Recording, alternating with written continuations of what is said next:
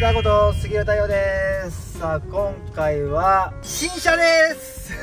太陽さんの新しい車、今日納車いたしました。前のね、あのー乗った車がついにもう10万キロいって、前の車から買い替えるまで何年乗ってたんや？前の車納車しましたっていう写真があったんやけど、2013年やったのよ。11年ぶりに車を買い替えたと。ということでございます。キャンピングカーはまた別としてねこの車は現場に行ったりとかえーいろいろドライブすることが多いので前の車もすごく乗りやすかったんやけど今新車の香りがしております。乗り心地も含めドライブしてみたいと思います。それではスタート。釣りも遊びも家族の日々もタタラタラタラタタタじゃねいやーいいですね。なんかこう新しいのを買ってビニールを剥がすか剥がさないか問題で僕結構ねあの剥がせないタイプなんですよね。すぐ汚れるやん。なんか これもつけっぱなしやし後ろのシートもつけっぱなしやしいつ取ったらええんかなこれって。すぐ取った方がいいんかな。俺すぐ取っちゃいますジョー君すぐ取るタイ逆になんか汚れが掃除とかしにくい。逆にこれしてると掃除せんのもいいんじゃんそういうこと。簡単にほこりたまったりしないですかね。なんかすぐ下のシートとかさいつビニールを取ろうかな問題で悩んだんやけどいつまでも新車でいってほしいみたいなあるよ。全てが最新すぎてさ感動してるよ。ね俺が11年間車変えてなかったっていうことはナビも進化してたしスマホみたいにねナビの画面がスライドなのよ。シャッてやればさスライド式に動いてるとか。ッチパネルやんとか。今の時代当たり前なんやろうけども前の車ももう自分の手足のように乗ってたからさ買い替えて。この先、右折専用車線があります。う全部喋ってくれるやん。あ。りがとう。この前ノンも納車してて家族旅行に行ったのよ。ノンの車で。その時にオートクルージングモード白線があったら白線から出ないとか車間距離をずっと保ってくれる機能みたいなああいう機能がめっちゃ運転が楽やったからそういうのにずっと憧れててこの車にはこれはもちろんついてるんで船のマリーナに行く時とか結構時間かかるからオートクルーズモードがあると本当めっちゃなんか進化したなでももちろん100%信頼はできんから気を張りながら運転するけど車速をずっと一定にしてくれてるっていうのがめっちゃ助かってさ家族であのスノーボード行ったんですけど2時間ちょい運転したのよ。オートモードを使ってると前の疲労度より通常に頑張って行ってた時の疲労度より8割減ぐらいやった。疲労度がもうついたわ。下道ではなかなか使われへんけど高速道路の長い同じようなこのずっと一直線みたいな道あるやん。ああいう時はめっちゃさ助かって。ちょっと早く遠出したいぜぐらいの気持ちですけどね。運転しててさシートあったかいボタンっていうのがあってお尻があったかい。寒い日に運転してあお尻があったかいっていういろんな機能にちょっと感動してるんですけど最近のはもうスマホとも連動してるのよね。スマホのアプリと車が連動してて寒い日とか暑い日とか車に乗る前に先にエアコンをつけときましょうか機能とかすごくない？寒いなんかハンドルも冷たい嫌やっていうのがないのよ。もうスマホでピッと押したらちょっと乗る10分ぐらい前からボーンってあ居心地がいい。ちょっとしたことやねんけど今まで夏とかさ車入ったらうわっみたいなのあるやん。あれを初めからエアコンピッと押しとけばあもう涼しい快適みたいなことがあるからスマホと連動したスマホ家電とかはあるけどさスマホ車。ん？スマ スマート車っていうのか？スマートカーかな？ありとあらゆる機能にサイズ感をね前の車よりワンサイズ下げたんですけどもあえてなんかこう後ろのねあの座る場所がすげえ進化しててファーストクラスみたいな飛行機でいうと新幹線でいうとグリーン車みたいな仕様にできたりもしたから運転をちょっと楽しんだ後はジョークにも運転慣れてもらって俺は後ろの グリーン車みたいなシートにちょっと座って動画回してみたいなと思っております。あとあれねスマホと連動してるからさ車に HDMI があってそこに差し込んでなんかスマホと連動したらスマホに映っている画面がテレビに映りますみたいな。後部座席のさテレビがまたでかいのよ。だから連動してあげたら子供たちも移動中すごい楽しめるのかなと思って。ただこれ7人乗りやねんけどさ俺もうすでに4人乗り仕様にしちゃったよね。4人乗り仕様にしたらほんま後ろが広くてこれ快適よ俺車免許はさ18歳で取ったんやけど今まで何台乗ったんやろうと思って。免許18ってことは免許取っても24年25年目？そんなん夏15年？いやいや。いやそんな若くない。そんな そんなない。つの間に若くなかった30代戻ったんですか？25年も乗ってんの？俺昔はねなんか親の乗ったクラウンかな。シーマかなそういうのなんかの運転させてもらった記憶があったんやけど前に乗ってたのはスパーダ。俺スパーダ乗ってたよね。ステッパーゴンのスパあ違うわ。スパーダじゃない。フリードフリード。フリードになって前のステップワゴンになってまた新しくなってってことなんですけど。基本的にファミリーカーとかスポーツカーとかさ海外の外国の車とかさあんまり興味がなくて。ベンツ乗り回してとか BM とかフェラーリとかいやあれ全然興味ないからさ。国産車のいっぱい荷物が乗って乗りやすいっていうのが一番良くない？外車もすごいいい車いっぱいあるけどでかいのに4人しか乗られへんってとか高いのにほとんど2人乗りやんみたいなあるやん、そうですね。うん。まあ、あれはあれでかっこいいからええねんけど実用的かどうかはっつったら俺は結構荷物積む人やからあんまりそういうのに興味がなくてよく俺の友達も乗ってたわ。あのガルウィングでさウィーンって開くやつ。ポルシェかな。そうでしょとかランボルギーニとかね。そうそう。めっちゃかっこいい車めっちゃみんなあんねんけどでもそれ2人しか乗られへんちゃうのみたいな。俺そっちで思っちゃうから。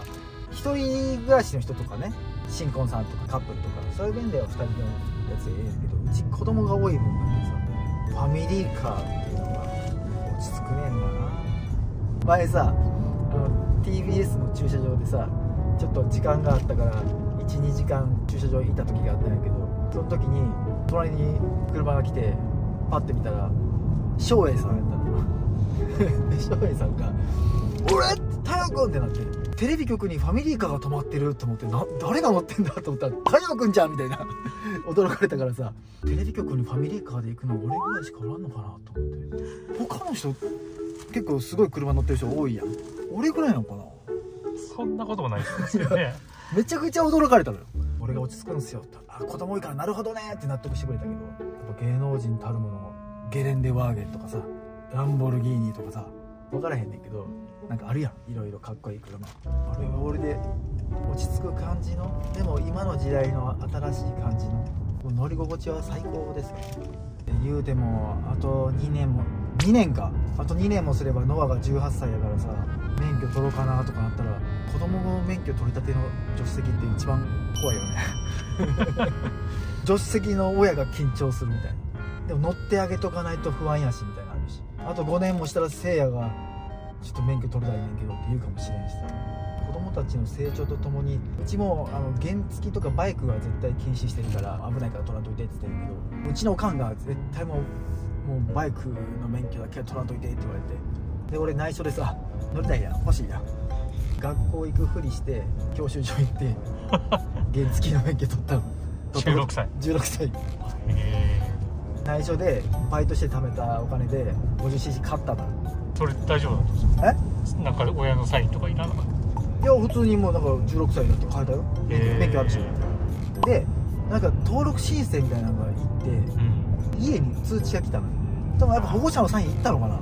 俺知らんくてさおかんがその家に通知来て俺が勝手に免許取ったのバレてバイクも買ったのバレてノリノリでバイクでバーってこう帰ってきたら玄関とかにはおかんがめっちゃ怖い顔して持っててさ泣きながら怒られてさ人生でああんなに親泣かしたらあかんわと思って初めてこあの後悔したっていうか内緒で免許取るもんじゃないなって思ったよね。ちゃんと親の同意を得て取るもんやな。周りのみんながバイク乗りすぎててさ憧れが強すぎて原付やったらええかと思ってめっちゃそれ後悔してたわ。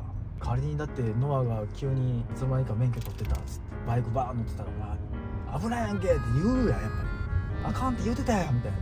親子のコミュニケーションちゃんと取ってなんか欲しいものとかやってみたいことチャレンジしたいことがあるんやったら同意を得た方がこそこそするんやったら堂々とした方がええやろうしな。俺は当時コソコソしてしまったけど怒られるの分かってたからもう取ってまえみたいな。取ったらもう怒られても取ったもんは取ったみたいな感じで言ったけどさ。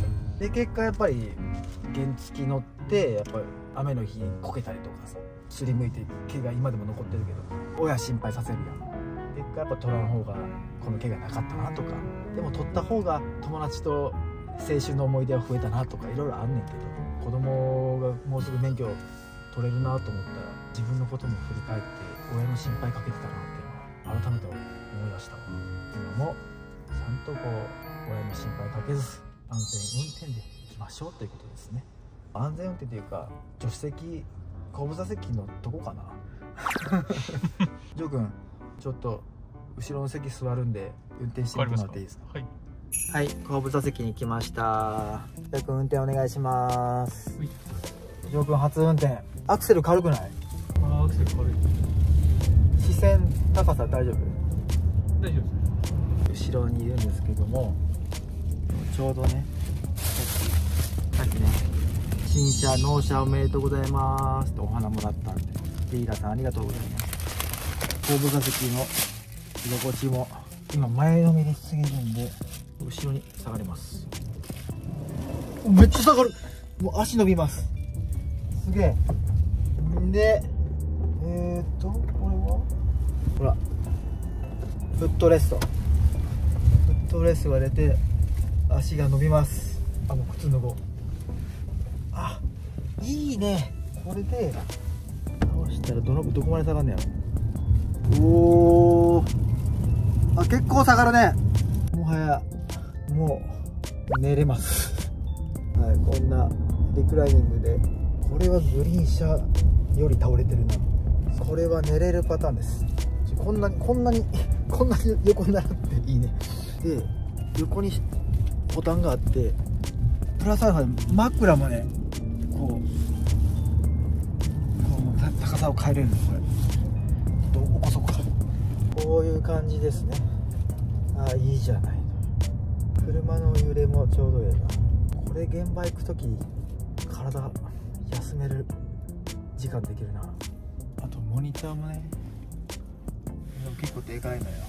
で後ろのエアコンも変えながらおなんか洒落てる。おいい風が出てきました俺基本的に助手席が座ることが多いんですけど映像チェックとかいろいろあるんやったら後ろの席もありやな。やっぱエンジン音静かやね。そうですね。ハイブリッジョー君今度オートクルーズモード使ってみてやマジで。ドそうですね。うん。ほんまに楽やったから。これは寝られ寝てられるな。なんとフラッと2人でデートする時とかなんかすごいええやろうし。でね急遽荷物を出して後ろいろいろ乗っかっちゃってるんですけども本当はここに3人座るシートがあるんですよ。ここに、えーと埋め込み式で座席が埋まっております。本来はこのシートとこちらのシートをもうちょっと前に出して後ろも出したら7人乗りみたいな。で、まあ、今ちょっとグリーン車モードにしてるんで後ろを埋めて4人乗りの快適バージョンか7人で乗るバージョンかケースバイケースで広さを変えられる装備になってやーこれはすごく楽ちんだな。遠出するロケとかすごい助かるよな。毎回やっぱ新車ってドキドキするよね。俺が11年ぶりに変えたってことは31歳の時以来そんなに変えてへんかったんか。31歳の時から俺は今もうすぐ40もう43になるけどそんな時期でございます。43になるけど車って結構リースで借りたりとかもあるよね。リースで借りると定期的に違う車乗れるんやったっけ？プランによるんじゃないですか？かもう 2, 2ヶ月に1回違う車になるみたいな。いやそんな頻繁に変わるもんじゃあそんな変わるもんじゃないの？半年ごとに変えそれはもうるみたいレンタカーじゃないですか？な確かに。2ヶ月。2ヶ月に1回レンタカーやまさに。リースの仕組みがちょっと分からんけど。まあでも今後人生またね今43で買い替えたからまた50で買い替えたりとか60で買い替えたりとか。年代によってまた車の趣味も変わってくるのかな。最後全部釣りの仕様が乗るハイエースとかなってんのかな？だんだんやっぱこう釣り竿をさ本当はねここに釣り竿のやついっぱい刺すやつあるやん。こうやって釣り竿ああいうのもやりたかったけどさすがに新車にそれちょっとやるのは俺も忍びなさすぎてこの車はこの車で釣り竿乗らんよな。まあ行けんことはないけどもう船に置きっぱにするかとかいろんな仕様を考えてこの車を使っていきたいと思います。早く家族にも見せたいなはいというわけで非常に乗り心地のいい新車でございました。ビニールはいつ外しましょうかね、まあ今回は乗り心地と、えー後ろの乗り心地ちょっとねあの初めて体験してみました。ぱりこう人生いろいろ経験積んでいくといろんな出会いと別れもありますからこの車との新しい出会いで新しい人生を歩んでいきたいと思います。新しい車を納車してみてドライブしてみた動画でしたありがとうございました。はいこの動画がいいなと思ったらグッドボタンチャンネル登録よろしくお願いします。それではまた次の動画でお会いしましょう。ありがとうございました。バイバイ。